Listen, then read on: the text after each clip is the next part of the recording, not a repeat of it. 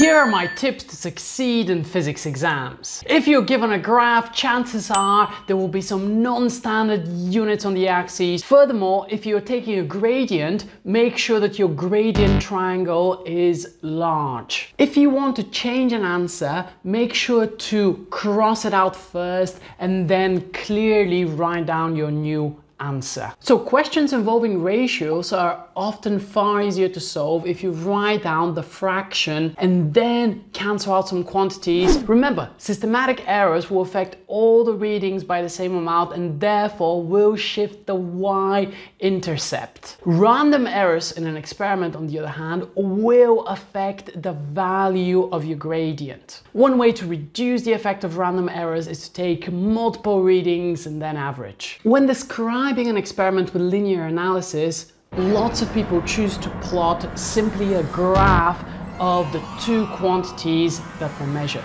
But sometimes we need to plot a graph of, let's say, voltage against 1 over the wavelength rather than the wavelength, or the time period squared rather than the time period. The displacement equations in simple harmonic motion will require your calculator to be in radian mode. Energy levels are negative because energy is required to remove an electron from the atom. The terms isotropic and homogeneous are often confused. Isotropic means that the universe appears the same in every direction on a large scale, whereas homogeneous means the universe has a constant density. Redshift is fractional. Larger wavelengths have a higher shift as it is proportional to the wavelength. If you're writing out a longer response question, please bullet point. It will be far more organized both for yourself and the examiner marking your work. This one is really crucial. Make note of the command word in a response question. Describe, explain, or show will require you to write a completely different answer each time. If you're drawing a line of best fit, you don't need to worry about the line going through the origin as long as you've covered the region of all the points.